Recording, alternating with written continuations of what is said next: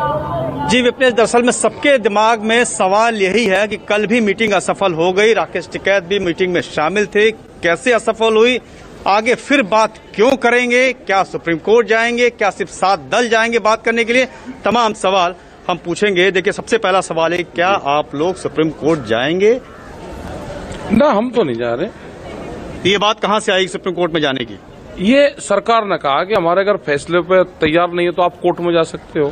सात ये भी खबर आई है कि सिर्फ़ सात दलों से सरकार बात करेगी जो लंबी चौली पलटन जाती है उससे कंफ्यूजन होता है। तो क्या इस बात पे आप लोग मान रहे हैं? ये प्रस्ताव आपने दिया है या सरकार ने दिया है कि सात दलों से कोई यूनियन की एडवाइजर है?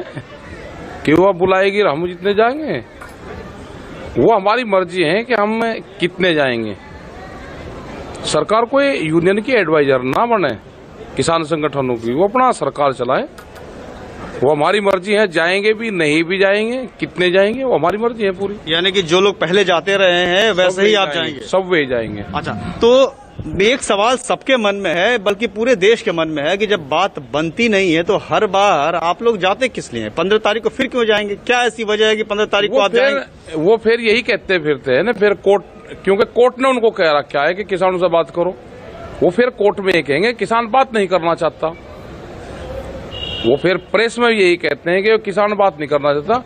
वे जितनी बार मीटिंग होगी, उतनी बार हम जाएँगे। कल की मीटिंग में जो हमने सुना, हम बाहर थे वहाँ विज्ञान भवन में, कि नरेंद्र सिंह तोमर आए, उन्होंने अपना अपनी बात किसानों से बताई कि भाई रिपील यानी कि रद्द करने के अलावा अगर कोई विकल्प आप देते हैं तो सरकार उस पर बात करने के लिए तैयार है। तो उस पर आप लोगों ने क्या प्रतिक्रिया दी? सुना कि बीच में ही थोड़ी सी गहमा गहमी भी हो गई थी हाँ। और लंच ब्रेक के पहले ही आप लोग निकलने वाले थे फिर मान मनोवल हुआ। क्या हुआ था कल?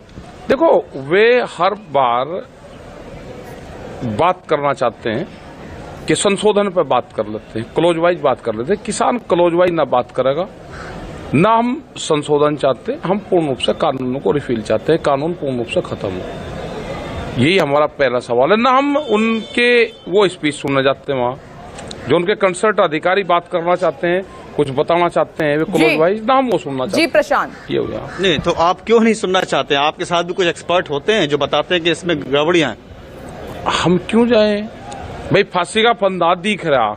सरकार कहती है देखो हम तो सोने के फंदे से इनको मारना चाहते हैं ये नहीं मरना चाहते। आप लोगों ने एक शक्ति प्रदर्शन किया था। क्या 26 जनवरी को वैसे ही प्रदर्शन फिर वाकई करेंगे आप प्रदर्शन थोड़ा छब्बीस तारीख में छब्बीस तारीख में तो देश का कौन ठीक वफादार है? प्रशांत राकेश टिकैत की एक ही बात की कानून वापसी तो घर